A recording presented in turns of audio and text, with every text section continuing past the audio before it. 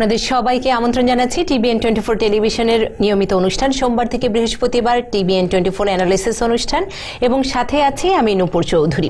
সংবাদের বিভিন্ন দিক নিয়ে আমরা আলোচনা করব সেই সাথে আপনাদের প্রশ্ন নিব নিব মতামত। তবে শুরুতেই আজকের এই অনুষ্ঠানে যে দুজন সম্মানিত অতিথি পেয়েছি তাদের সাথে পরিচয় করে দিচ্ছি। আমরা পেয়েছি আব্দুল কায়ুম আপনাকে স্বাগত জানাচ্ছি আমাদের এই অনুষ্ঠানে এবং আমরা পেয়েছি অ্যাটর্নি শেখ সেলিম। আপনাকেও স্বাগত জানাচ্ছি আমাদের এই অনুষ্ঠানে। এবং দর্শক বলে রাখতে চাই six four six three zero seven nine eight two eight এই নম্বরে আমরা সরাসরি আছি। সেই সাথে সরাসরি আছি W W dot Facebook dot com slash TVN twenty four USA দিনের অনেকগুলো উল্লেখযোগ্য ঘটনা আজকে ঘটেছে আব্দুল কালাম এবং অ্যাটর্নি শেখ সেলিম তবে আমরা সেখান থেকে নির্বাচিত একটি প্রতিবেদন দেখে নিয়ে তারপরে আলোচনায় আসব। নির্বাচনের সংশ্লিষ্টতার বিষয়টি বেশ জটিল আকার ধারণ করেছে। সেই সাথে দুই সালের জুনে ট্রাম্প টাওয়ারে বৈঠক পরিস্থিতি আরও ঘোলাটেও হয়ে গেছে। বিভিন্ন সংবাদ মাধ্যম বলছে, রুশ আইনজীবীর সঙ্গে বৈঠকের বিষয়ে ট্রাম্প জুনিয়র যে বিবৃতি দিয়েছিলেন, তা ঠিক করে দিয়েছেন ট্রাম্প নিজেই। ট্রাম্প জুনিয়রের দেওয়া ওই বিবৃতিতে বলা হয়, ওই বৈঠকে রুশ আইনজীবী এবং তার মধ্যে রুশ শিশু দত্তকের বিষয়ে আলোচনা হয়েছে। আর এই বিবৃতিটি স্বয়ং প্রেসিডেন্ট ট্রাম্পের নির্দেশনায় তৈরি করা হয়েছিল বলে জানাচ্ছে বিভিন্ন গণমাধ্যম। এমন পরিস্থিতিতে হোয়াইট হাউসের প্রেস সেক্রেটারি সারা হাকাবি প্রেসিডেন্টের নির্দেশে ট্রাম্প জুনিয়রের মিথ্যা বক্তব্য দেওয়ার অভিযোগ প্রত্যাখ্যান করেছেন. There's no inaccuracy in the statement.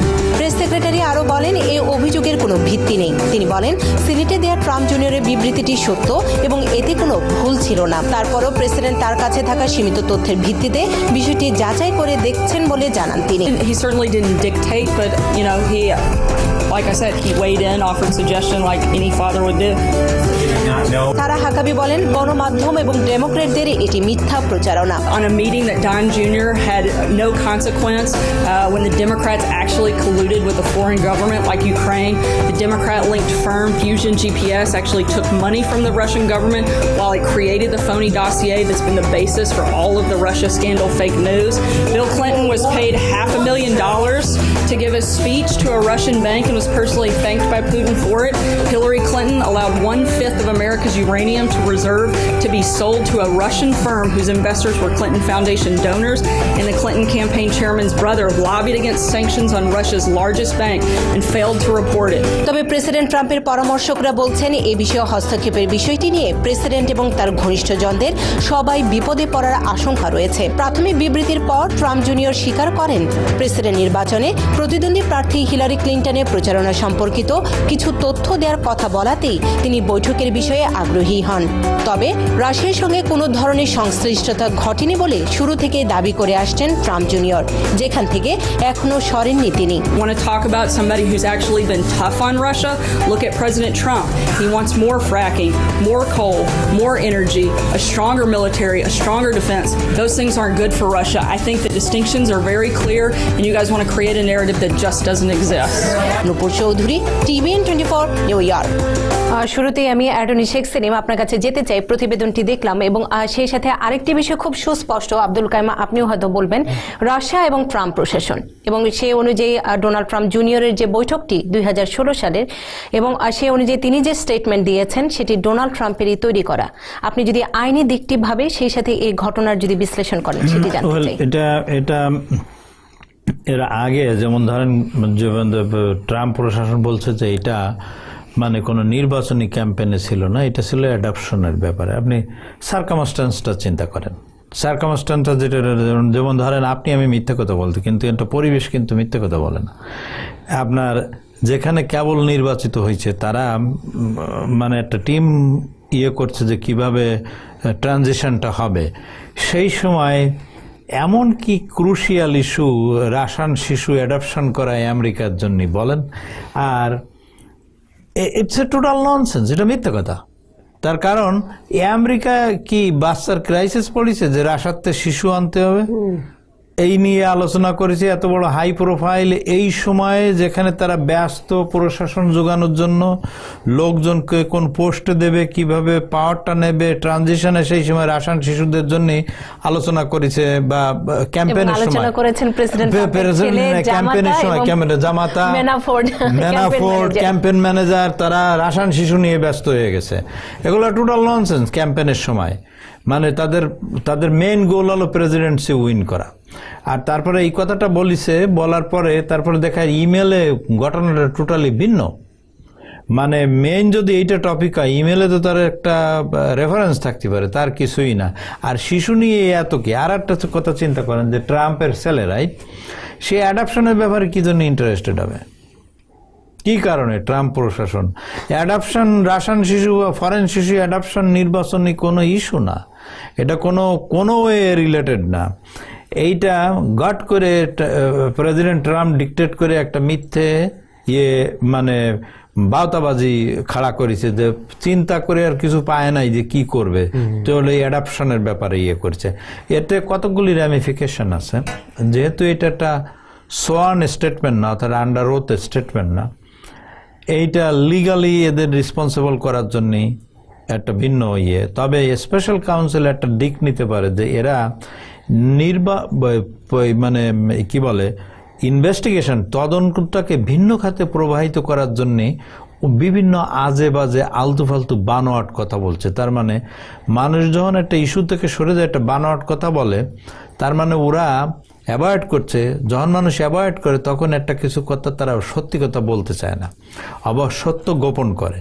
সেই ক্ষেত্রে একটা র্যামিফিকেশন আছে।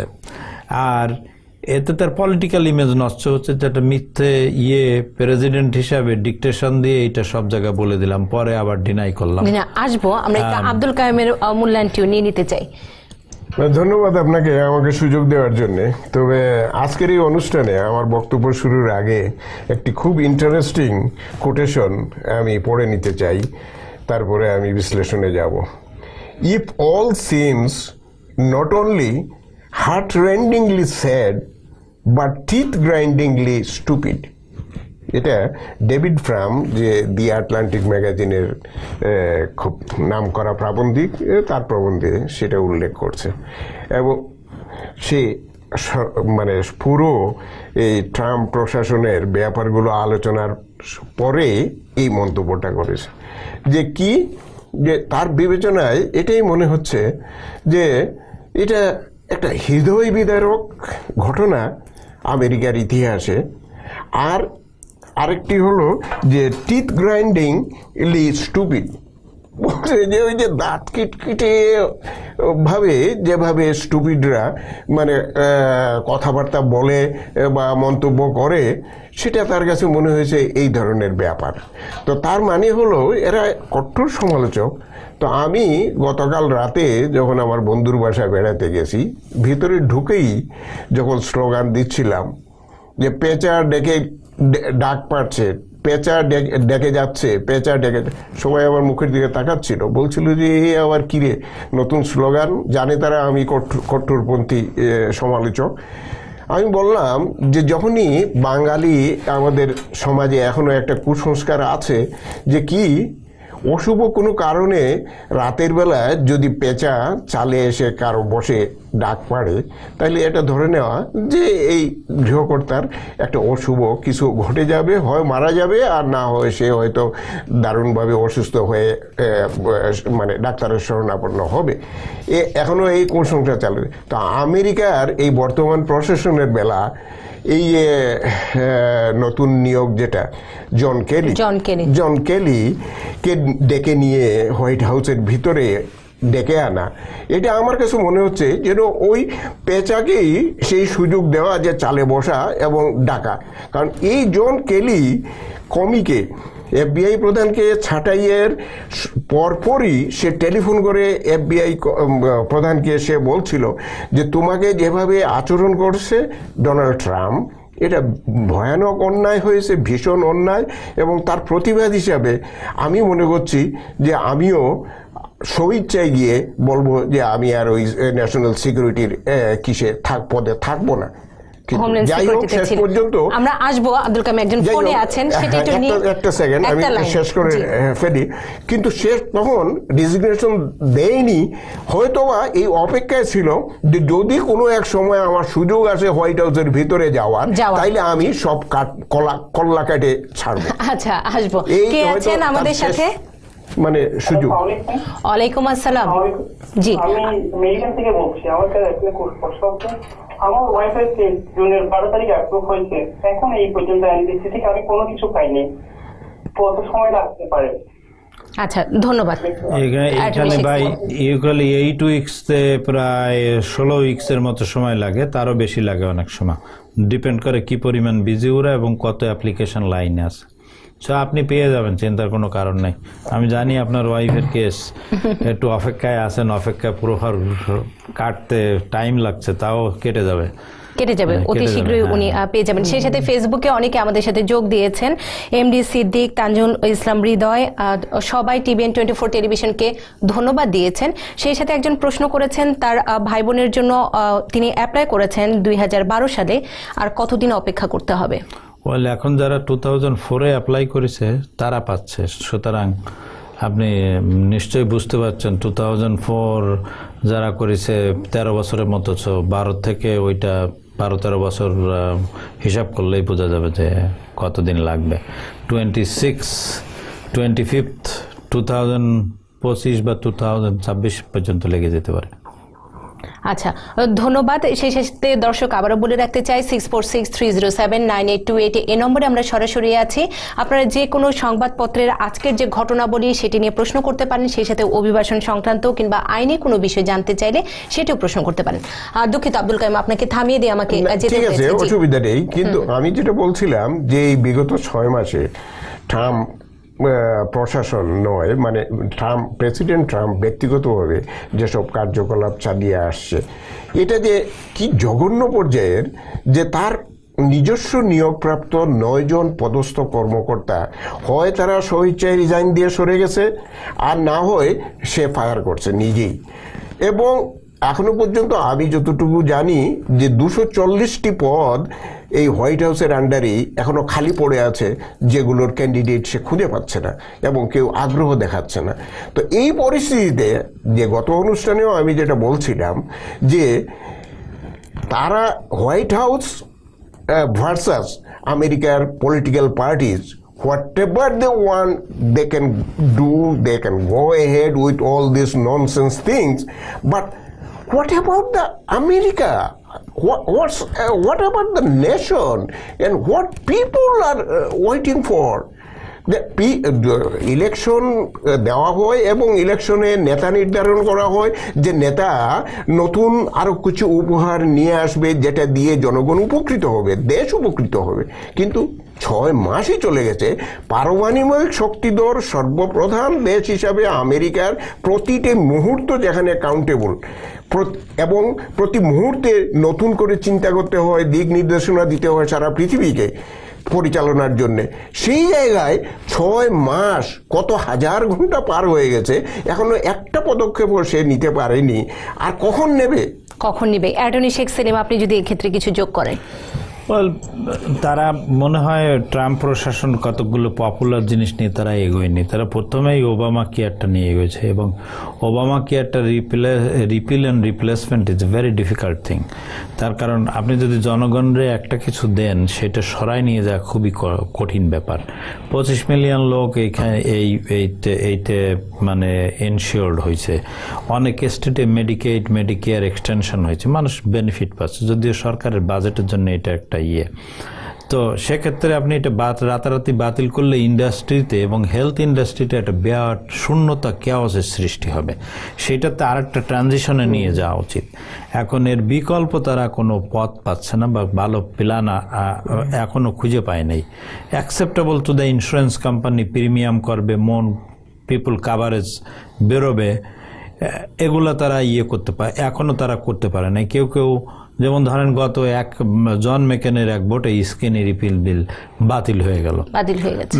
বাতিল হয়ে গেল তার কারণ ওখানে শুধু ওই যে ম্যান্ডেট টাকা ম্যান্ডেটটা বাতিল করবে না ওর সাথে কিছু মেডিকেট মেডিকেট এক্সপেনশন যাতে না হয় ইয়ে না হয়।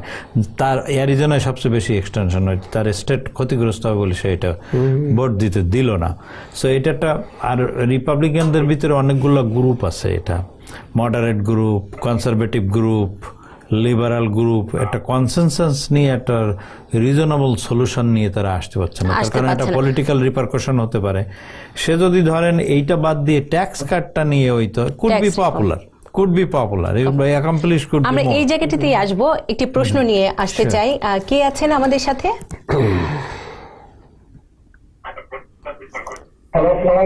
ওয়ালাইকুম আসসালাম। ভাইয়া আপনার নামটি বলে যদি কোনো প্রশ্ন থাকে সেটি করুন।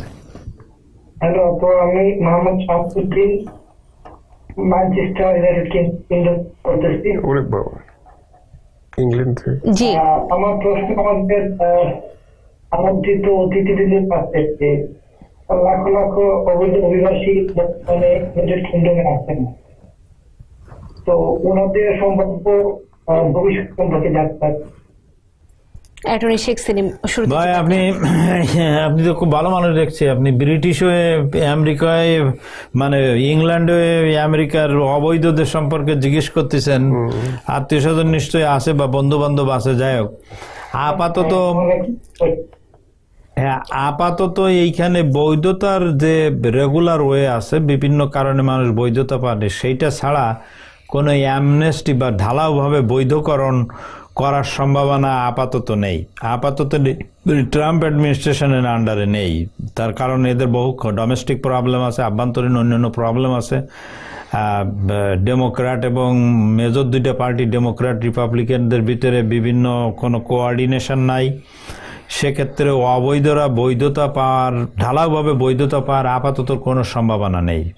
সো সেটা একটা প্রবলেম যারা রেগুলার ওয়েতে প্রচলিত আইনে আছে যেভাবে করা যেমন বিয়ে করলে আমেরিকান সিটিজেন বিয়ে করলে হয় রাজনৈতিক আশ্রয় চাইলে হয় বিভিন্ন গ্রাউন্ড যেটা আছে সেইটা ছাড়া অন্য কোনো উপায় আপাতত নেই। সো এইটা। এবং অ্যাটর্নি শেখ সেলিম আপনি স্বাস্থ্যনীতির পর ট্যাক্স রিফর্ম নিয়ে কথা বলছিলেন। আমি সেই জায়গাটিতেই যেতে চাই। ওকে ট্যাক্স রিফর্ম ধরেন স্বাস্থ্যনীতি ভেরি কমপ্লিকেটেড ভেরি কমপ্লিকেটেড আপনার মনে আছে যখন দুই হাউস দুই হাউস এবং ডেমোক্রাটদের দখলে ছিল। সেই সময় তাদের এই বিলটা পাশ করতে কিন্তু যথেষ্ট যথেষ্ট বেগ পাইতে হয়েছে। তাছাড়া আর এক সময় নাইনটি সিক্সে নাইনটি সিক্স না নাইনটি ফোর নাইনটি ফাইভের দিকে যখন ইউনিভার্সিয়াল হেলথ কেয়ার নিয়ে হিলারি ক্লিন্টন কাজ করে তখনও কিন্তু দুই হাউস ডেমোক্র্যাটের কন্ট্রোল ছিল এবং প্রেসিডেন্ট ক্লিন্টন কিন্তু অনেক কনভিন্সিং লোক। লোকজন ইয়ে করা তাও ফেল করেছে। তাও ফেল করেছে। তাও ফেল করেছে। It's a very complicated issue তার কারণ স্বাস্থ্যনীতি। বিভিন্ন গ্রুপের ইন্টারেস্ট এখানে আছে। তার কারণ যে যে সমস্ত দেশে ইউনিভার্সিয়াল স্বাস্থ্যনীতি আছে সেইখানে ডাক্তারদের প্রাইভেট প্র্যাকটিস কম। সেটা সরকারি একটা ইসের ভিতরে আছে তাদের ইনকাম কম। কিন্তু এইখানে ডাক্তাররা it's a very high paying class class আমরা আসব দুঃখিত আপনাকে থামাতে হচ্ছে। আমাদের একজন আছেন কে আছেন আমাদের সাথে?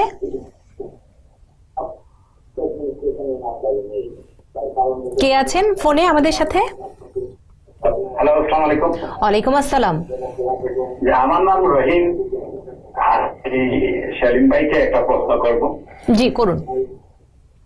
আমি ওই সিটিজেনশিপের জন্য অ্যাপ্লাই করছিলাম।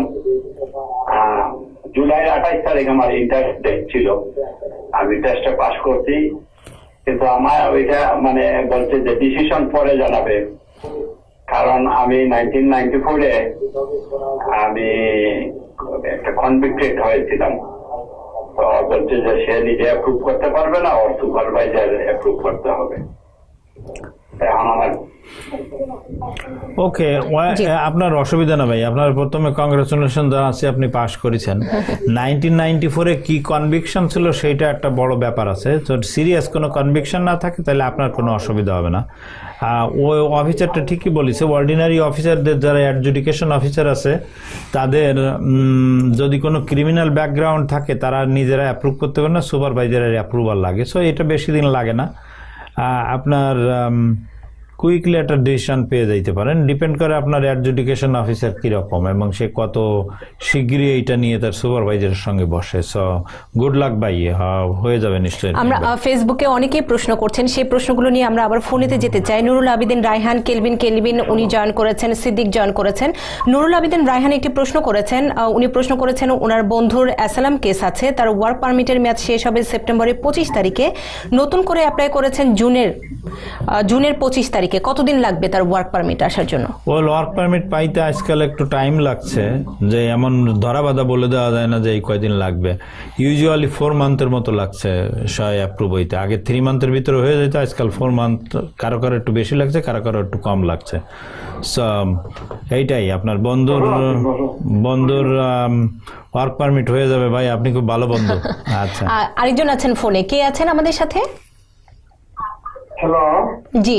ভাইয়া শুনতে পাচ্ছি। হ্যালো জি ওয়ালাইকুম আসসালাম। আমার নাম কামাল। আমি নিউ ইয়র্ক থেকে বলছি। আমি অ্যাটর্নি সেলিম সাহেবের সাথে একটু কথা বলব। জি জি আপনি বলুন কামাল আছেন। হ্যাঁ, যে আমার প্রশ্নটা হলো একজন ইউএস সিটিজেন দেশের বাইরে কতদিন থাকতে হবে কোনো বাধ্যবাধকতা আছে কিনা? কোনো বাধ্যবাধকতা না ইউএস সিটিজেন পাসপোর্ট নিয়ে আপনি সারা জীবন বাইরে থাকতে পারেন একবার যে না ফিরলেও চলে তবুও সিটিজেনশিপ থাকে ভাই। তো আপনি যে প্ল্যান করতেছেন সেই প্ল্যান অনুযায়ী এগোয় যান। অসুবিধা নাই পাসপোর্টটা যদি এক্সপায়ার হয়ে যায় তাই আমেরিকান এম্বাসিতে যে রিনিউ করে নিয়ে নেই। আচ্ছা ধন্যবাদ। সেই সাথে এমডি সিদ্দিকের একটি প্রশ্ন আপনাকে করতে চাই। ফেসবুক থেকে তিনি তার ওয়াইফের জন্য অ্যাপ্লাই করেছেন। নয় মাস হয়ে গেছে। অ্যাপ্রুভ লেটার এখনও পাননি। উনি গ্রিন কার্ড হোল্ডারধারী ওকে ওকে ভাই অ্যাপ্রুভাল না পাইলে আপনার কোনো ক্ষতি নেই। আমি জানি আপনি অ্যাপ্রুভাল একটা কাগজ পাইলে দেশে অ্যাটলিস্ট শাশুড়িরে বলতে পারবেন যে অ্যাপ্রুভাল পেয়ে গেছে আম্মা।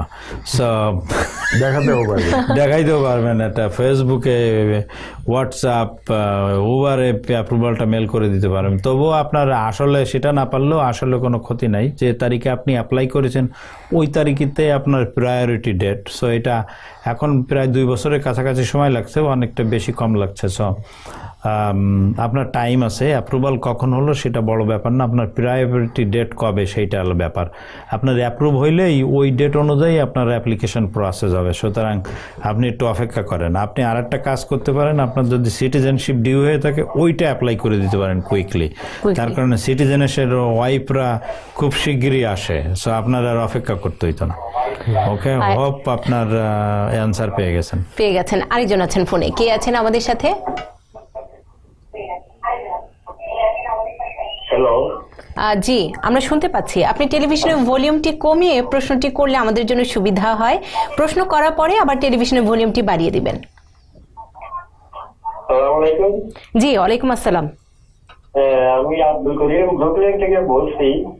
পলিটিক্যাল যদি গ্রিন কার্ড পাওয়া তাদের পারমিশন নিতে হয় না গ্রিন কার্ডে দেওয়া কোনো পারমিশন লাগে না ভাই। গ্রিন কার্ড যারা, তাদের আছে, দেশে যাইতে হলে, বিদেশে যাইতে হলে পারমিশন লাগে না, এই।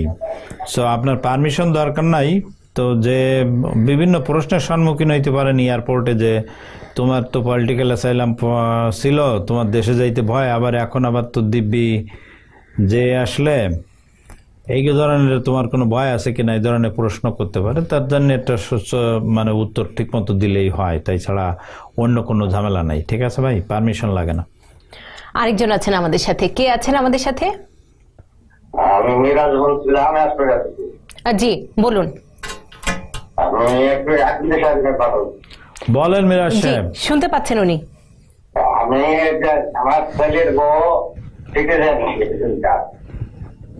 তো দেশে গেছিল সে ফার্স্টলি বি দিতে তারপর এসে অ্যাপ্লাই করতেছে ভোট জন্য এখন সিটিজেন অ্যাপ্লাই সে এখানে এসেছিল তিন মাস আগে। তারপর গ্রিন কার্ড হওয়ার পরে সে আবার বিকাশে দিয়েছে, গিয়ে শুনছে যে সে এখানে আর আসবে না, অন্য জায়গায় উঠবে এবং অন্য জায়গায় থাকবে। আমরা এখন তাকে ডিভোর্স দিতে চাই। ছেলের বউ। কি করার আছে আমাদের? সেইটা বলেন যে আমরা এখানে আটকাইতে পারব কেন? সে সিটিজেন সে এই গ্রিন কার্ড নিয়ে চলে গেছে বাংলাদেশ। ওকে ওয়েল আটকানো কঠিন বাট কিছু করতে পারেন সেটা টেলিভিশনে বলা সহজ ইয়ে হবে না। তো আপনার মনে হয় আটকা আটকি না করতে যে যে চলে গেছে তারে যেতে দেন। ওর পিছনে টাইম নষ্ট করে বুদ্ধিমানের মতো কাজ হবে না তার কারণ ওটা আল্লাহর পরে ছেড়ে দেন ভাই। তার কারণ হচ্ছে কি অ্যাটলিস্ট আপনারা যথেষ্ট টাইম মানি এনার্জি শ্রম শ্রম এর উপর আমার বলতে দেন, শ্রম ওই মেয়ের পিছনে খরচ করেছেন। তারপরে মেয়ে এসে তিন মাস পরে ধোকা দিয়ে চলে গেছে। এইটা। সো ওরে ওর বিচার আল্লাহর পরে ছেড়ে দেন। তার কারণ ও মেয়ে ভালো না। ওর অন্য কোনো ঝামেলা আছে, যেটা হয়তো আপনারা নিজেরাও জানেন, বোঝেন। সো আপনার ছেলের সাথে থাকবে না, যত শিগগিরই ওই মেয়েরে ডিভোর্স দিয়ে সরে যাইতে পারেন, তত মঙ্গল আপনাদের জন্যই। ওইটা ভুলে যান, ওই তিক্ত অভিজ্ঞতা নিয়ে যেন না, এখন আবার নতুন করে এইবার দেখে শুনে বিয়ে দিয়ে আত্মীয় স্বজনের ভিতরে যারা চেনেন ইয়ে চেনেন, বংশমর্যাদা ভালো, ভদ্রতা, এগুলো দেখেই বিয়ে দিয়েন। গটকালি করে বা ঘটকের মাধ্যমে বিয়ে দেন না, এগুলা ঘটক যারা ধরে, সেখানে ভালো লোকজনের জন্য ঘটক ধরে না আর কি আচ্ছা। তো এই ভাই আমরা আমরা দুঃখিত ভাই আপনার এই খারাপ সংবাদের জন্য। এবং দর্শক আপনাদের প্রশ্ন নিব এবং আব্দুল কালাম আপনার আলোচনায় আসব। আমরা একটা বিরতিতে যাব। তবে এমডি সিদ্দিক আবার উনি বলেছেন যার উত্তর আপনি দিয়েছিলেন উনি গ্রিন কার্ড হোল্ডারধারী তার ওয়াইফের জন্য অ্যাপ্লাই করেছিল নয় মাস কিন্তু উনি ত্রিশ দিন হয়ে গেল সিটিজেনশিপ পেয়েছেন. তো উনার প্রসেসিংটা কতদিন? আপনার সিটিজেনশিপ স্ট্যাটাসটা ওইখানে ইমিগ্রেশনে আপডেট করতে হবে। আপনার সিটিজেনশিপ সার্টিফিকেট ওই নাম্বার টাম্বার দিয়ে টিয়ে সুন্দর করে একটা চিঠি লিখে দিতে হবে। তাইলে হয়তো আপনার এটা একটা কোটা স্ট্যাটাস ছিল এটা নন কোটায় চলে যাবে। অর্থাৎ মানে আপনার আর কোনো ওই অপেক্ষার ইয়ে থাকবে না। উনি পাঠিয়েছেন উনি আবার সাথে সাথে আমাকে রিপ্লাই দিয়েছেন। উনি অলরেডি ইমিগ্রেশন অফিসকে জানিয়েছেন তার সিটিজেনশিপ তাইলে আপনি একটু অপেক্ষা করেন এটা আপডেট আপনি তো খুব পুরাম দেখতেছি ভাই। কাজ কামেও পুরাম প্রিয় তো পুরাম আপনার বউ নিশ্চয়ই আসবে শিগগিরই আসে এটাই ভালো। আমরা আসব আলোচনায় সেই সাথে দর্শক আপনাদের যে কোনো প্রশ্ন আমরা নিব। আমাদের সময় হয়েছে ছোট্ট একটি বিরতি নিবার বিরতির পর আবারও আসছে এই অনুষ্ঠান নিয়ে।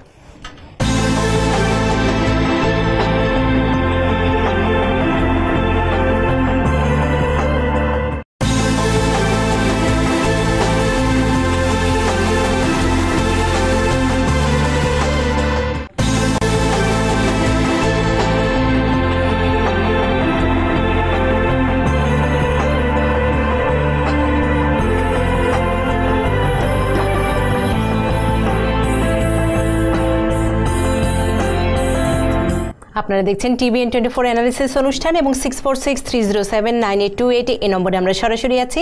সরাসরি আছি W W dot Facebook dot com slash TVN twenty four USA আমরা আলোচনায় আসব তবে একজন ফোনে আমাদের সাথে যোগ দিয়েছেন। কে আছেন আমাদের সাথে?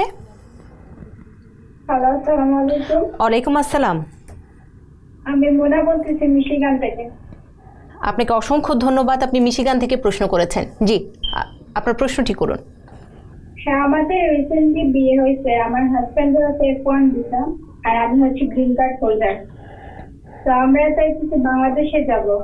কি কোনো প্রবলেম হবে কিনা জানতে পারছিলাম নো। আপনার কংগ্রাচুলেশন রিসেন্টলি বিয়ে হয়েছে। সো যাওয়ার পরেই বাংলাদেশে যাচ্ছেন। আপনার বাংলাদেশে যেতে কোনো অসুবিধা নেই। আপনার হাজব্যান্ড যদি স্টুডেন্ট হিসাবে এনরোল থাকে অর্থাৎ স্টুডেন্ট হিসাবে থাকে তাহলে কোনো অসুবিধা নাই যাইতে যে যেহেতু ভিসা আছে যে ফেরত আসতে পারবেন। যদি আউট অফ স্ট্যাটাস থাকে স্টুডেন্ট না থাকে তাহলে অসুবিধা। আরেকজন আছেন আমাদের সাথে। কে আছেন আমাদের সাথে? ওয়ালাইকুম আসসালাম। থেকে। জি ভাইয়া বলুন। আপু আমার কোশ্চেনটা হচ্ছে, আমি গত বছর অ্যাসাইলাম করছিলাম। তো এর মধ্যে আমার ওয়ার্ক পারমিটও পাইছি। তো পারমিট পাওয়ার পর আমার মধ্যে ওয়াইফ মানে বিয়েও করছে গ্রিন কার্ড আমার ওয়াইফ গ্রিন কার্ডধারী তো এটা এখন আমি মানে বেস্ট আমি কি করতে পারি? আমি দু বছর ওয়ার্ক পারমিট আছে আমার। এখন কি আমরা অ্যাডজাস্টের জন্য অ্যাপ্লাই করতে পারি, নাকি আমার ওয়েট করতে হবে? সে সিটিজেন হব তো এর মধ্যে সে সিটিজেনশিপের জন্য অ্যাপ্লাই করছে, তার ফিঙ্গারপ্রিন্ট হয়েছে বা ইন্টারভিউ দিতে আসেনি। ওকে ভাই ওকে ওয়েল কংগ্রাচুলেশন আপনি বিয়ে করেছেন। আপনার ওয়াইফ আপনি এখন একটা পিটিশন করতে পারবেন। সেটা আই অন্থরিটি পিটিশন বলে। তারপরে অপেক্ষা করতে হবে যে আপনার ওয়াইফ কখন সিটিজেন হয়। সিটিজেন হওয়ার পরে অ্যাডজাস্টমেন্টের জন্য অ্যাপ্লাই করতে পারবেন। ওইটা গ্রান্টেড হলে আপনার গ্রিন কার্ড হয়ে যাবে। সো যেহেতু অ্যাপ্লাই করেছে আপনার ওয়াইফ সিটিজেন হওয়া পর্যন্ত আপনার অপেক্ষা করতে হবে। আমি ফেসবুক থেকে একটি প্রশ্ন আপনাকে করতে চাই। রবিন আহমেদ প্রশ্ন করেছেন, উনি সিটিজেন হওয়ার পরে ওনার বোনের জন্য অ্যাপ্লাই করলে ভালো হবে না তার বাবা কিংবা মা অ্যাপ্লাই করলে ভালো? ওনার বোন ম্যারিড এবং কতদিন সময় লাগবে? যেহেতু বাবা মা যদি সিটিজেন হয়, তাইলে আর একটু আর্লি হতে পারে, দশ বছরের মতো। আর বারো তেরো বছর লাগে যদি উনি করে। সো সেক্ষেত্রে দুই পক্ষই করতে পারে। অনেক ক্ষেত্রে দেখা গেছে যে আমাদের কাছে বিভিন্ন সময় বাবা মা বয়স্ক লোক যদি কোনো অ্যাক্সিডেন্ট ঘটে যায় তাহলে ওই পিটিশনটা বাতিল হয়ে যায়।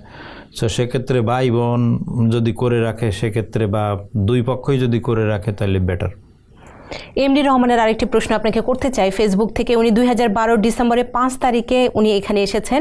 এবছর সেপ্টেম্বরে পাঁচ তারিখে কি সিটিজেনের জন্য আবেদন করতে পারবেন কিনা? হ্যাঁ চার বছর নয় মাস একদিন পরে অ্যাপ্লাই করতে পারে। চার বছর নয় মাস। আব্দুল কাইম আপনার কাছে আমি আসতে চাই। আমাদের অনেক প্রশ্ন। আপনি স্বাস্থ্য নীতি নিয়ে সেই সাথে ট্যাক্স রিফর্ম নিয়ে আপনার মূল্যায়নটি যদি বলেন বিশেষ করে স্বাস্থ্য নীতি যেটি সিনেটে মুখ থুবড়ে পড়ল। মুখ থুবড়ে পড়বে এটা তো মানে আমি শুধু নয় আমি তো আপনার দের এই অনুষ্ঠানের প্রথম দিকেই বলে দিয়েছিলাম পীরের মতো। তো যাই হোক সেই ভবিষ্যৎবাণী এখন বাদই দিলাম।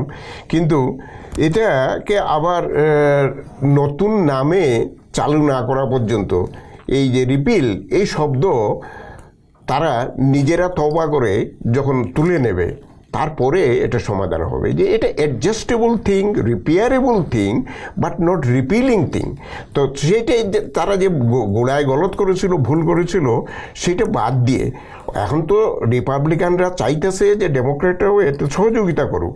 এবং ডেমোক্রেটরা তো রেডি হয়েছিল যে হ্যাঁ যেটা প্রয়োজন এখন পরিবর্তনের সেটা করো আমরাও সমর্থন দেব।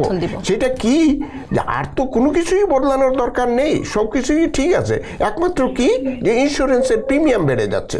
তো ইন্স্যুরেন্স কোম্পানির সঙ্গে মিডিয়েট করার যে ব্যাপারটা এটা করে নিলে যৌথভাবে দুই পক্ষে তারপরেই তো সমাধান হয়ে যায়। তখন সাধারণত এটা মানে যে কোনো মুহূর্ত থেকে কার্যকরী হয়ে যাবে।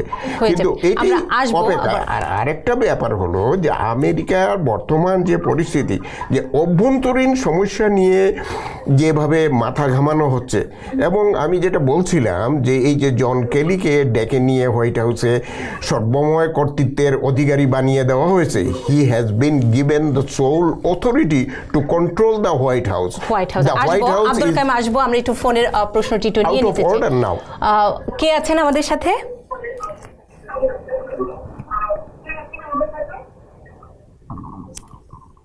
ফোনে কে আছেন আমাদের সাথে? বলছি আমার নাম রিজওয়ানা জি আপা বলুন। আমার একটা প্রশ্ন ছিল শেখ সেলিম ভাইয়ার কাছে। জি অবশ্যই। আপনি প্রশ্নটি করুন। আচ্ছা আমার হাজবেন্ড এখন গ্রিন কার্ড হোল্ডার সে গ্রিন কার্ড পাচ্ছে দু বারো সালের এপ্রিলের দুই তারিখ। তো দুই সাত সাল থেকে আমাদের পিটি- মানে হিয়ারিংটা শুরু হয় ওর ডিপোর্টেশন অর্ডার হয়ে গেছিল।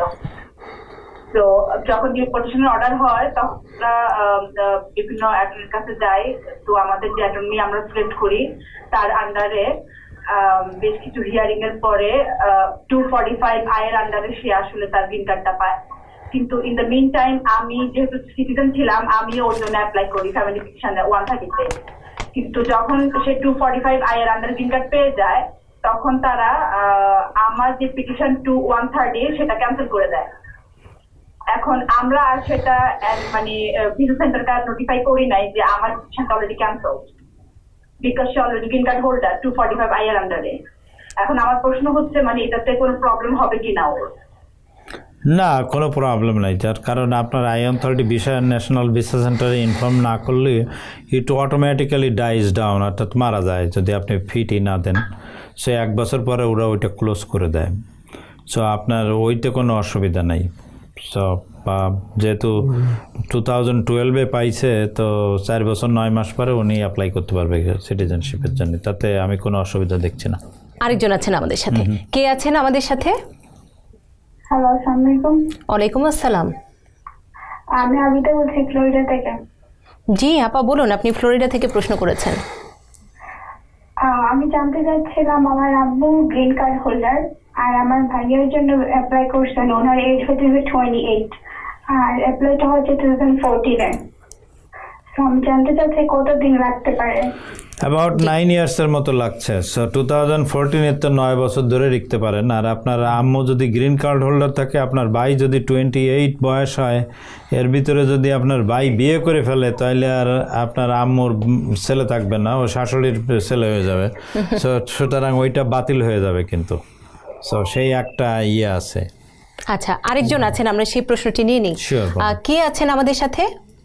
হ্যালো আসসালামু আলাইকুম। ওয়ালাইকুম আসসালাম। জি আমি কামাল বলছিলাম। জি কামাল ভাই বলুন। যে আপু আমি টু থাউজেন্ড সিক্সটিনে আসছি।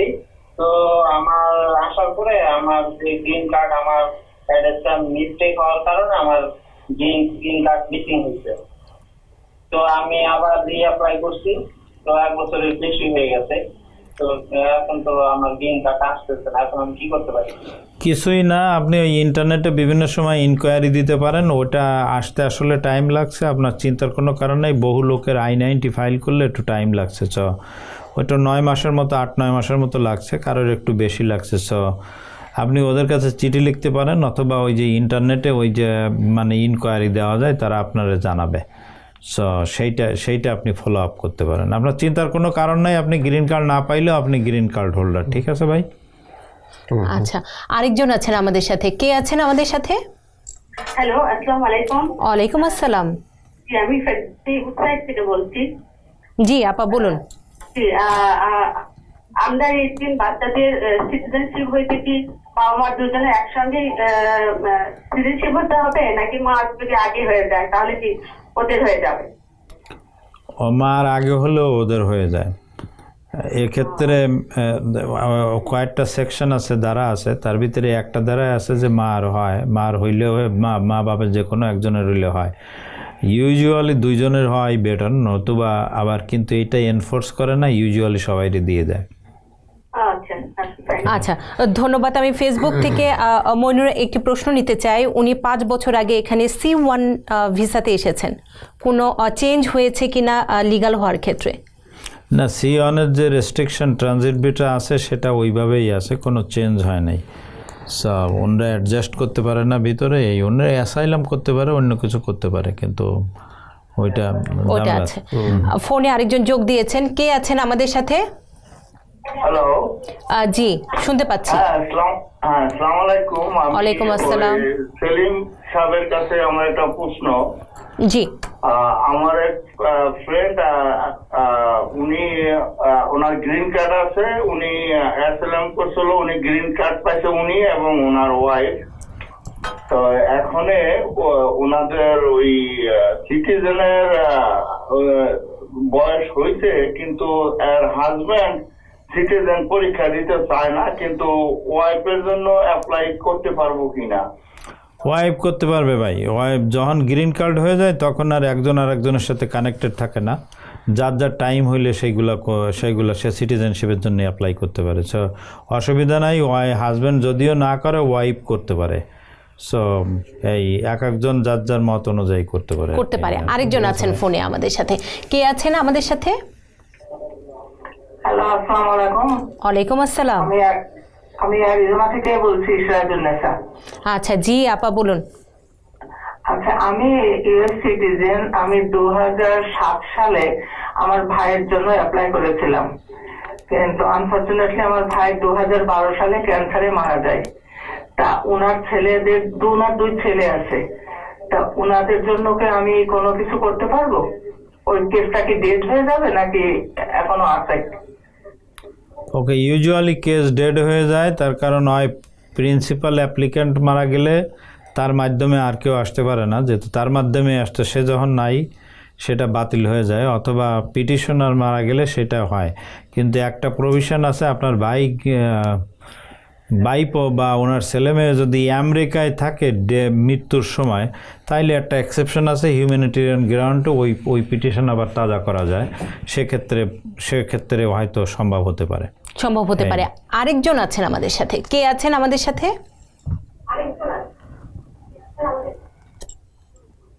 আসসালামু আলাইকুম। ওয়ালাইকুম আসসালাম।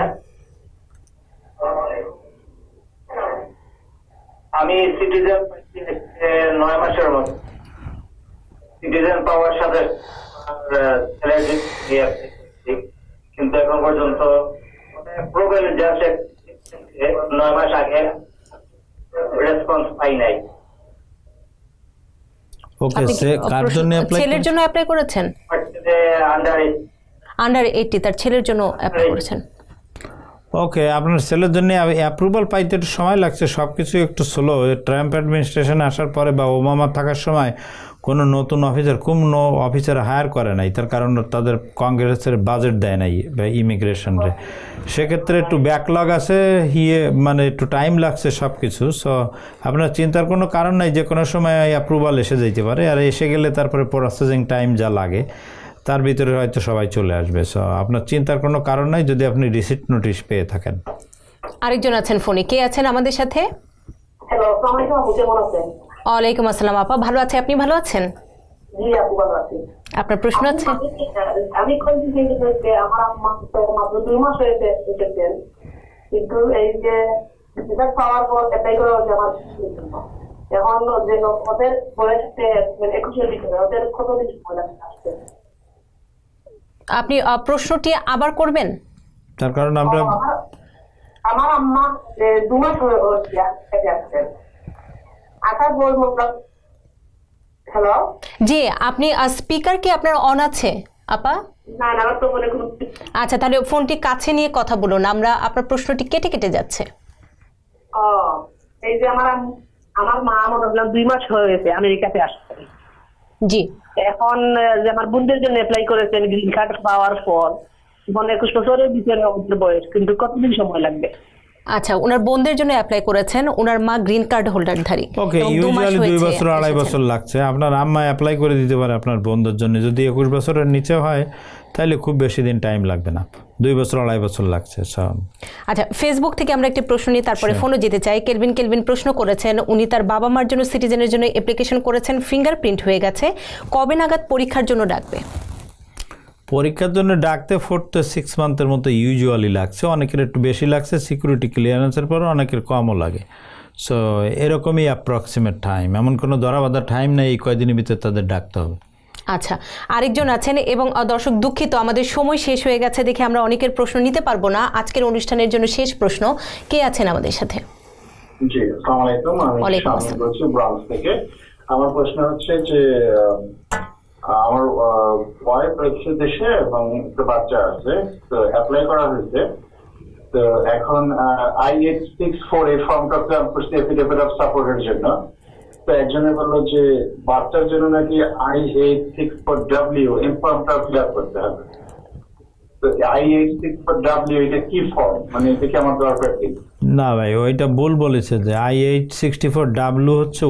লাগে। যাদের ওই ওই ফর্ম ও no I eight sixty four W আপনি করতে পারেন। ইয়া শিওর আপনার বাচ্চার জন্য যেহেতু আপনি কি সিটিজেন তাহলে আপনার বাচ্চা অটোমেটিক সিটিজেন সো ওইটা ফিল আপ করতে সেটা ঠিক আছে যাদের ওই এফিডেভিট অফ সাপোর্ট লাগে না তাদের ক্ষেত্রে ওইটা ওইটা ওইটা করতে হয় ঠিক আছে? ফেসবুক থেকে একটি প্রশ্ন আপনাকেই করেছেন উনি বন্নি উনি প্রশ্ন করেছিলেন এবং সেই সাথে আপনার কন্ট্যাক্ট নাম্বারটি চেয়েছেন। আপনি কি সরাসরি কন্ট্যাক্ট নাম্বারটি দিতে চান? শিওর আমার অফিসের নাম্বার হচ্ছে two one two five six four one six one nine এবং আমার সেল নাম্বার হচ্ছে three four seven eight seven three five four two eight কোনো পরামর্শের জন্যই অ্যাপয়েন্টমেন্ট নিয়ে আসাই বেটার বেটার এবং সেই সাথে দর্শক, আপনাদের অসংখ্য ধন্যবাদ। আব্দুল কাম আপনাকে অসংখ্য ধন্যবাদ। শেখ সেলিম আপনাকে অসংখ্য ধন্যবাদ। এবং সেই সাথে দর্শক, এতক্ষণ যারা আমাদের এই অনুষ্ঠানটি দেখেছেন ফেসবুকে যারা প্রশ্ন করেছেন, তাদেরকেও অসংখ্য ধন্যবাদ জানাচ্ছি। টিভিএন টোয়েন্টি ফোর টেলিভিশন আপনাদের টেলিভিশন এবং আপনাদের জন্যই এই অনুষ্ঠানগুলোর আয়োজন করে থাকে। সবাই অনেক ভালো থাকবেন।